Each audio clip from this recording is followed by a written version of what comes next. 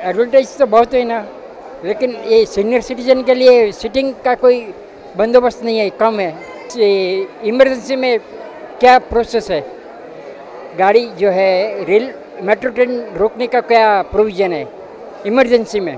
Metro को कोई pulling change जैसा कोई सिस्टम है कि नहीं? और फायर के लिए क्या प्रोसेस है? फायर फायर लगा तो इसके लिए क्या है?